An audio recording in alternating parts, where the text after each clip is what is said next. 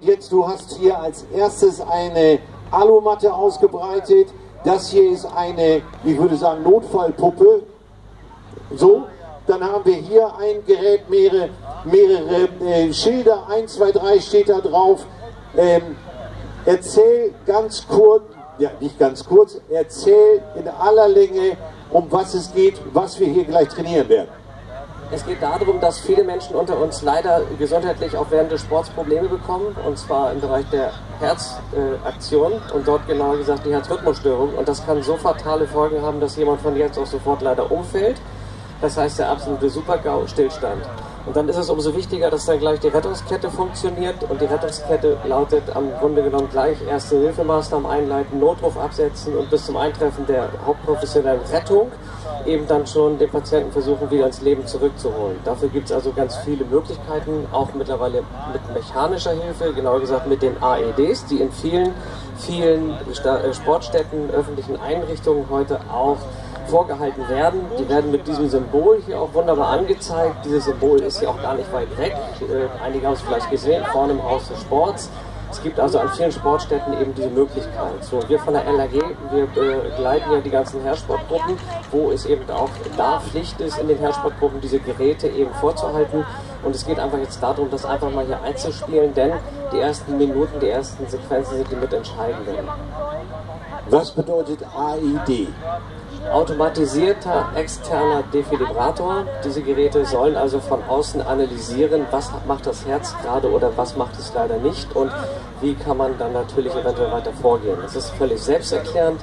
Und das äh, kennen viele Menschen halt nicht. Sie wissen halt, diese Geräte sind zwar da, aber der letzte Erste-Hilfe-Kurs ist bei einigen ja, gefühlt eine Ewigkeit her.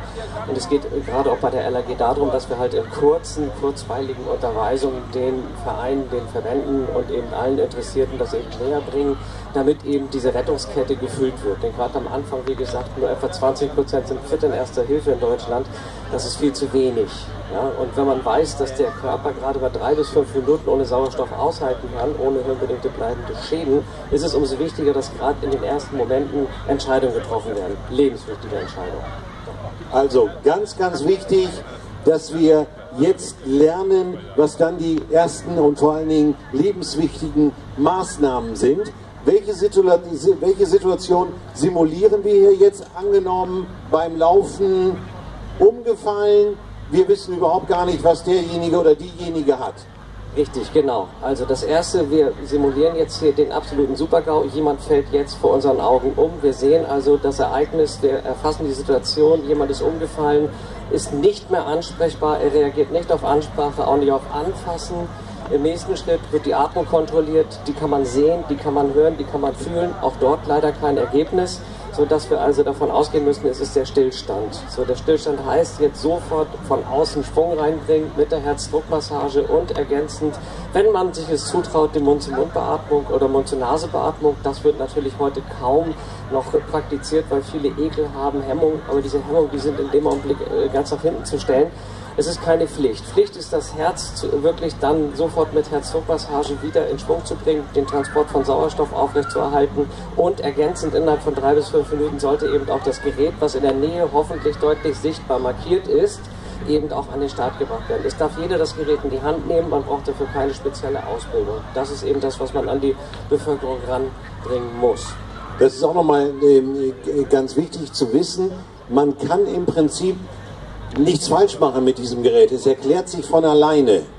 Genau, es erklärt sich von alleine und das werden wir jetzt auch gleich mal hier einspielen. Wir spielen also die Sequenz ein, dass wir jetzt eintreffen, das Gerät dazukommt und äh, durch das Einschalten des Gerätes dann die ganze Sache weiter vorangebracht wird. Denn darauf kommt es eben an. Okay, also wir simulieren eine Person, männlich oder weiblich, ist umgefallen.